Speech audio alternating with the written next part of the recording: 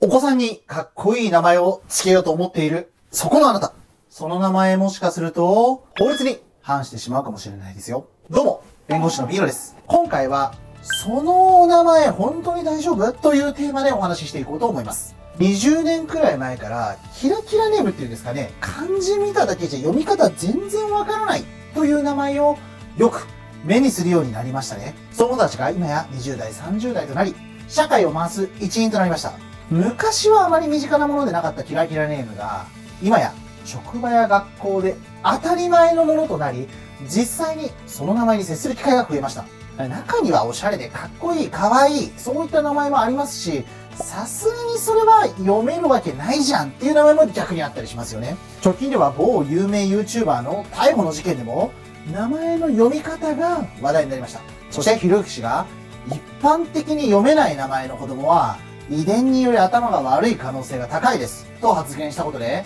ネット番組を中心に大きな反響がありました。これに対して、私がどうとかいうそういう話じゃなく、法律的な側面からキラキラネームってどこまで許されるの？という話をしていこうと思います。人の名前という極めてナイーブなところに踏み込んでいるので、本当に賛否両論あるかもしれないです。これからお話しする内容は法律的な観点から述べますが、まあどうしても私の主観も多少入ってきてしまいますので、あくまで一法律家の価値観として気楽に聞いていただけると嬉しいです。では、早速行きましょう。そもそも、生命とは何か？皆さん、ちゃんと考えたことってありますか？機械的な言い方をすると、基本的に他人との区別を行うための一要素というふうに言えるんじゃないでしょうか。で皆さん考えてください。そんなの当たり前じゃんという話ですよね。じゃあもっと正確にはどう定義されているのか。その答えは生や氏。これに関して戸籍法という法律で明確に定められているんですけれども、名前に関しては実は法律上のルールはないんです。参考までに戸籍っていうのはですね、住民票と、まあ、似てはいるんですけども、もっと細かい情報が書いてあって、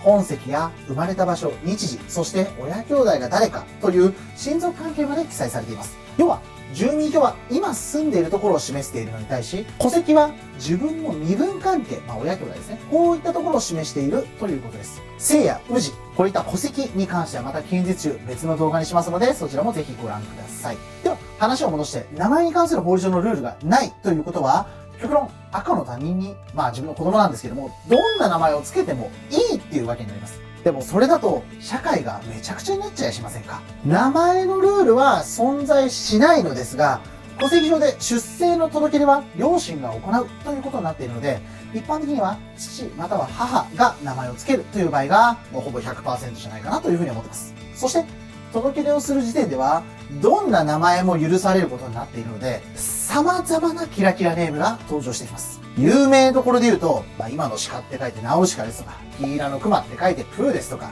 本気って書いてリアル、あと男って書いてアダムとかですね、読めるわけないんですけども、なんかがあるみたいなんですが、漢字の読み方にこんな読み方は一切ないですよね。これなんでか。名前にはひらがな、漢字、カタカナ、これらが全て使えるんですけども、そのうちの漢字は、常用漢字2136字と、人名用漢字の863字が使えます。実は、戸籍の名の欄には漢字の読み方が記載されず、出生届に呼び仮名があるだけなんですね。しかも、その読み方には制限が全くないために、難解の読み方が、いわゆるキラキラネームを付けることができるということになっています。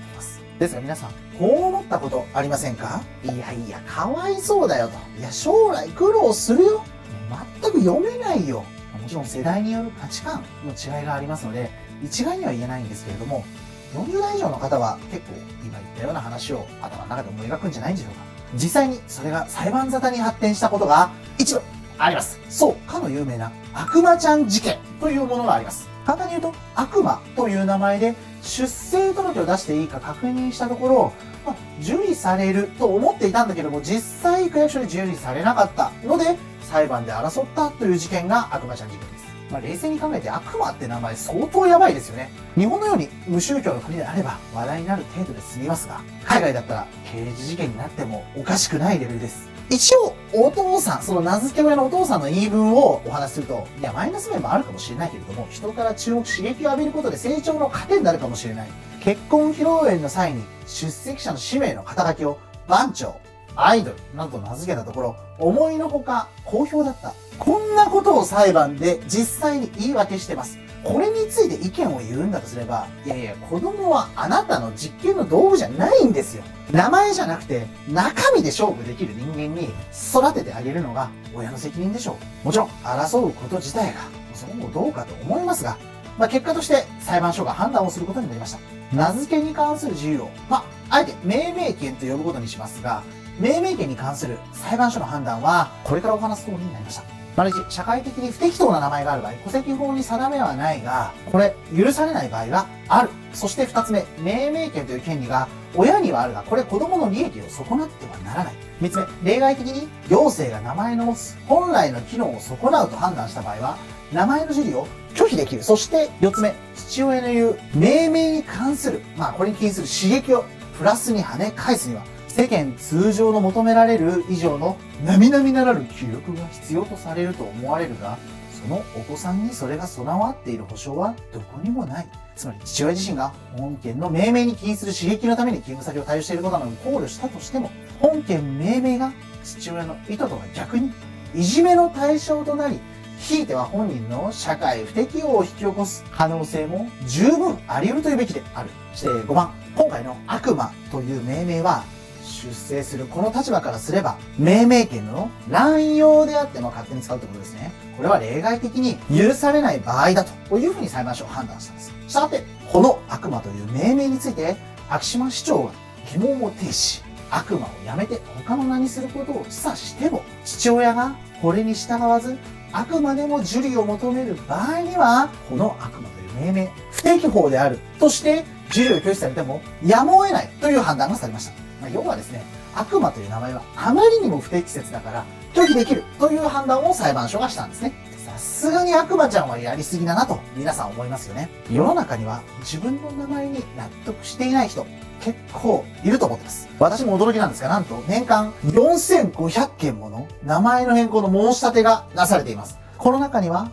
逆にキラキラネームに変更しているような方も一部いらっしゃるかと思いますが、それは正確にはかなり少ないと思いますので、それでも年間数千人近くの人が名前の変更をしています。自分の名前を変えるってとてつもなく勇気のいる判断ですよね。そんな決断をしている人が毎年数千人もいるって、子供を持つ親御さんなら他人事じゃないんじゃないでしょうか。この動画が少しでも皆さんの価値観を変えるきっかけになれば嬉しいです。まとめの前に少しお知らせです。私、弁護士 B のは東京都山形で弁護士法人守りを運営しています。LINE アットから借金ですとか、離婚ですとか、そういったご相談、随時受け付けております。一つ一つ丁寧に応じていきますので、皆様今後ともよろしくお願いいたします。では、本日のまとめです。キラキラネームもしかしたら法律的にはまずいかもしれませんよというお話を今回はしてきました。今の鹿と書いてナウシカですとか、黄色い熊のプーですとか、本気と書いてリアルですとか、男と書いてアダムですとか、こういったものも本人が社会的に不適合者となってしまう。可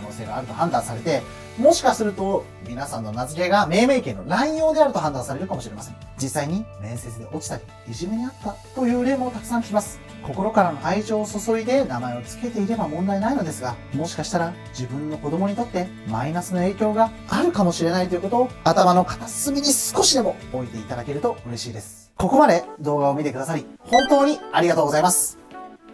この動画が少しでも役に立ったなというふうに思っていただけたら、ぜひ高評価、コメントの方、よろしくお願いいたします。そして、次の動画では、性の話について少しお話をさせていただければと思います。離婚すると、氏や性変わったりしますよね。この点について、わかりやすく解説していこうと思っています。それでは、また次回の動画でお会いいたしましょう。バイバイ。